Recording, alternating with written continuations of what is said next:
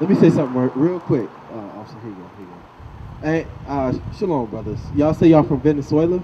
Could y'all inform us what's going on in Venezuela right now?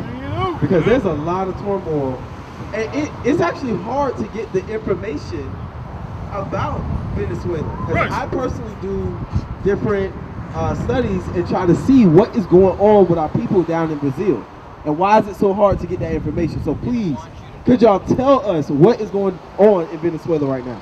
There's there's no food. There's lots of violence. Lots of government inflation. You can't even buy like with a hundred dollar bill here. You could do a lot with it, right?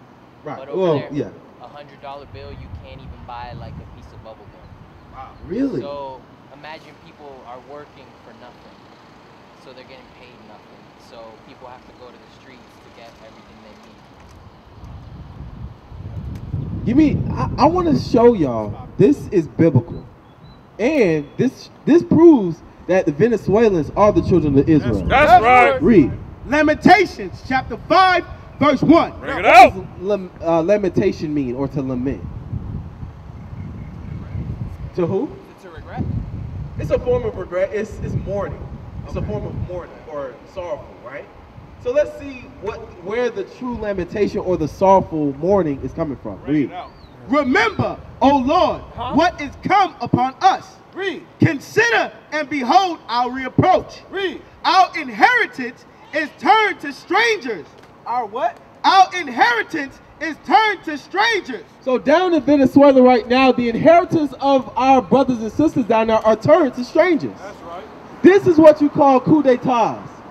America is known for coup d'etats in different lands that have resources that they want. Right. We understand, according to the Bible, it tells us that Venezuela ha- is very rich in oil, is very rich in metals, Right. and coffee. Right. We understand that. Why? Based off the Bible. Right. Read. Our houses to aliens. Our houses to what? To aliens. So, what is an alien? A who? A foreigner. Huh. So, who's the real foreigner that's in Venezuela right Yo. now trying to uh, cause uh, government oppression and uprising with the people? Who's the real foreigner right now? Government. No, but who are they? Who are they ran by? Because don't get it twisted. It's, government is a blanket statement. But we understand uh, in these last days, there's only one nation that rules this entire earth. Everybody has to bow down to that nation. Right. Everybody. No, it ain't Russia. It's America. That's right. Everybody has to bow down to America whether they like it or not. Right. Including Russia. They're, they're actually tired of bowing. That's the thing about it. So, really, it's who runs America? What race of people run America?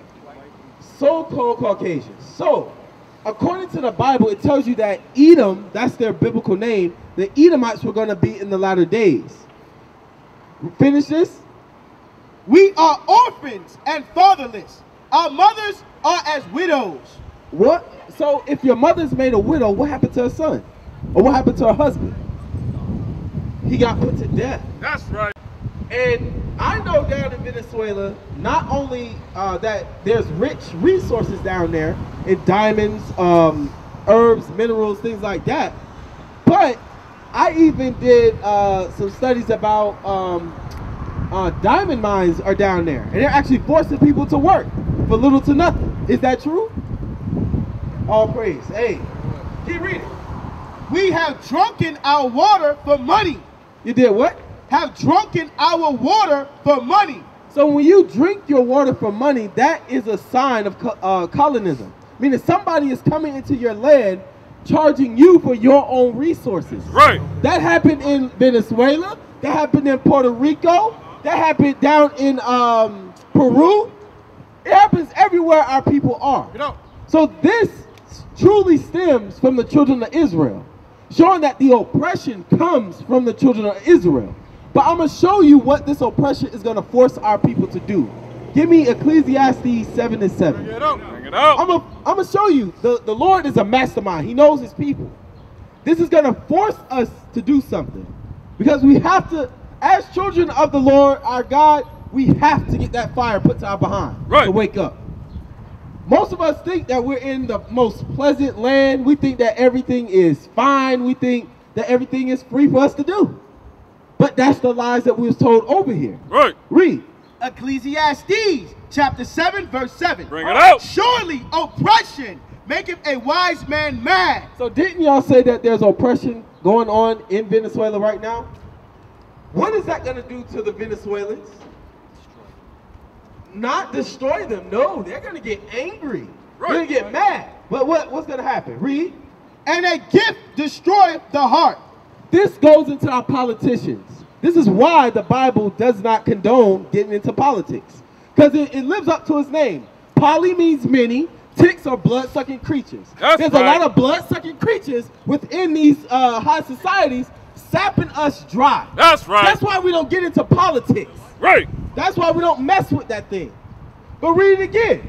Surely oppression maketh a wise man mad. So the oppression that's going on over in Venezuela is going to make the Venezuelans mad. Right. Because their point of refuge is coming up here to United States. Right. According to the Bible, the uh, tribe of Judah is within the United States.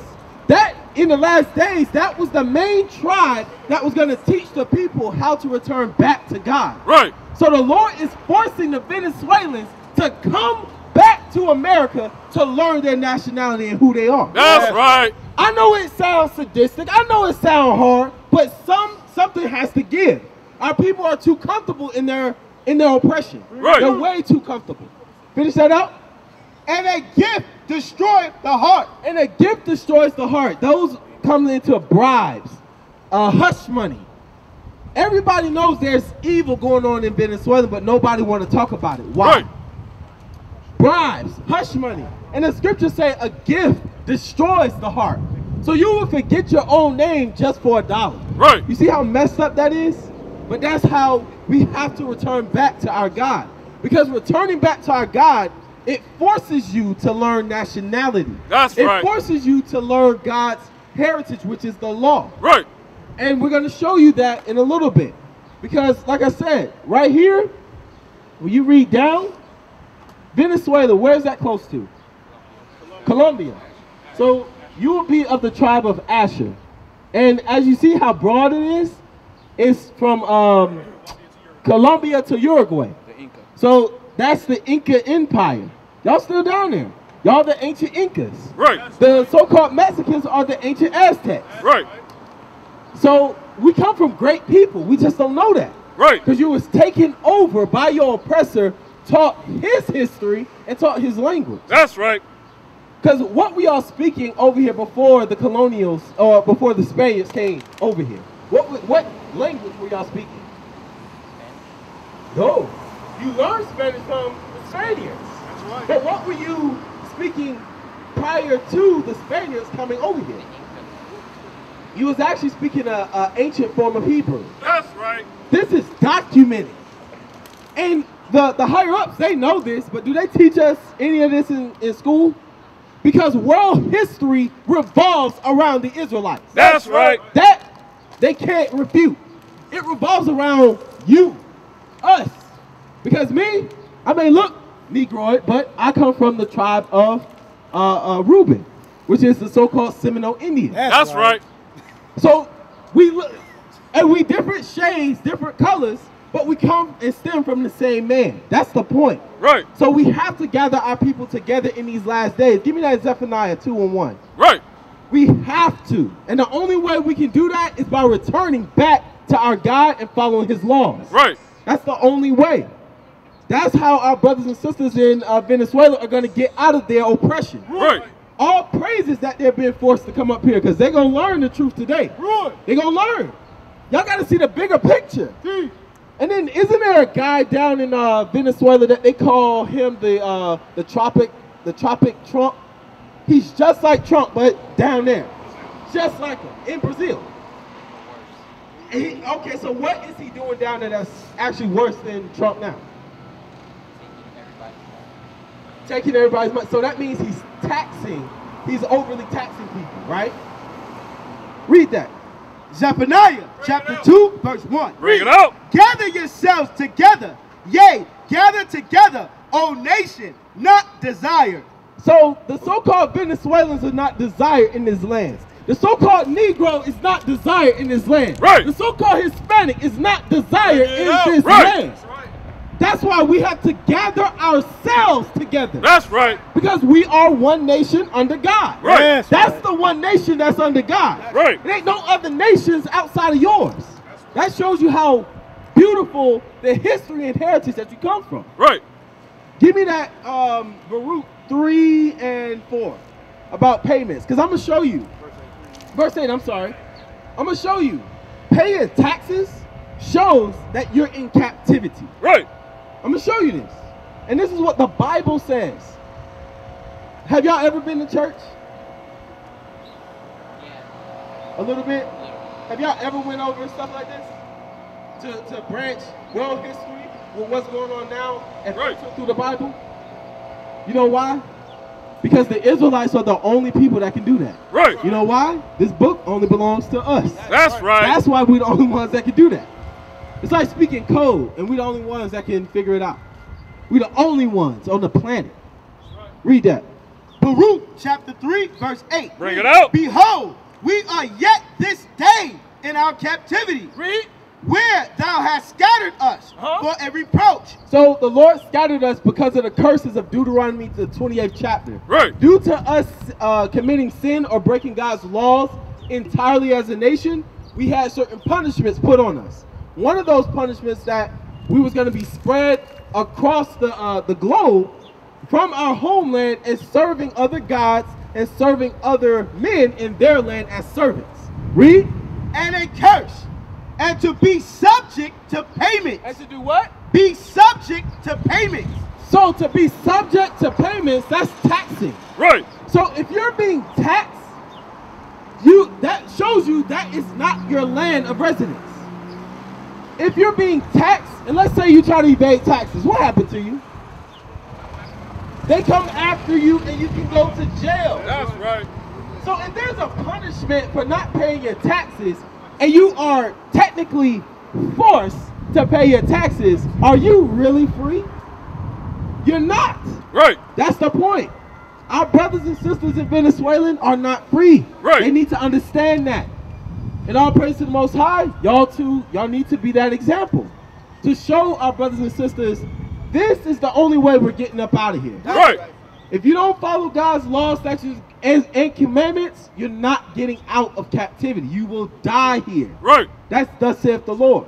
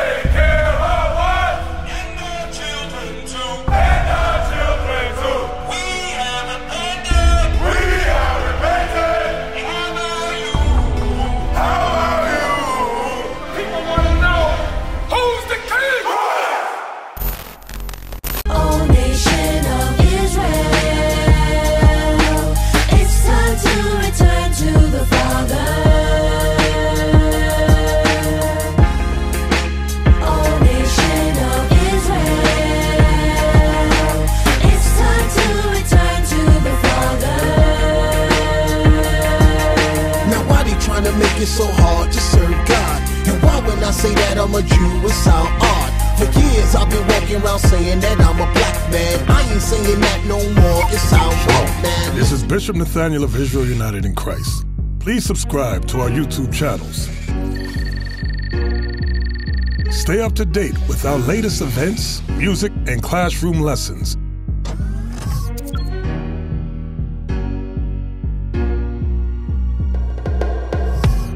IUIC plans to continue visiting different countries where this gospel has not been preached before. IUIC needs your help in pushing this truth.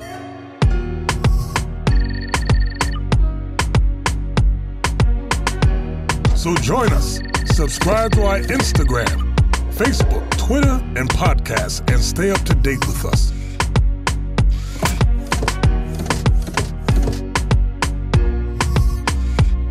For more information, please visit www.israelunite.org.